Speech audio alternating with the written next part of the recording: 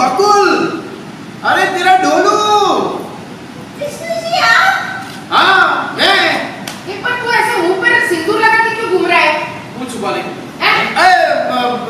अरे मैं सीधा लेता हूँ। मुझे ये बताइए कि आपने ऐसा किया है क्या? है कि आपको मूर्छित पाने की ज़रूरत पड़े? आपने क्या चोरी की है?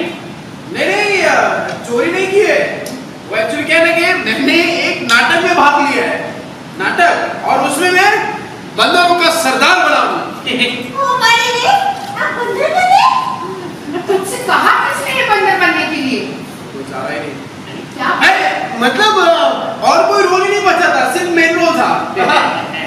वेल तो रात को मैंने तुझसे कहा था ना कि रात को बंदर की कहानी मत सुन वरना तेरा पति बंदर हो जाएगा। ए देख बंदर हो गया।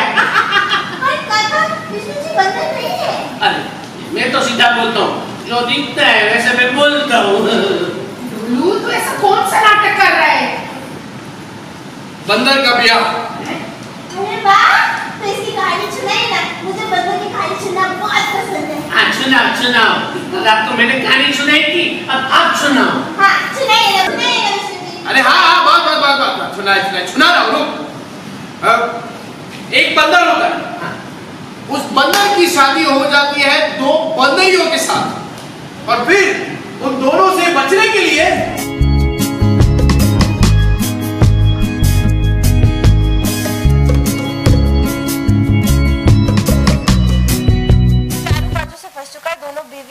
पे उसका ससुर है, यहाँ पे उसकी माँ है, सब उसको टॉर्चर कर रहे हैं। ऊपर से मेरे चाचा जी भी आ गए जो थोड़े से बहुत ही फनी कैरेक्टर है। आप देखेंगे तो आप हो जाएँगे।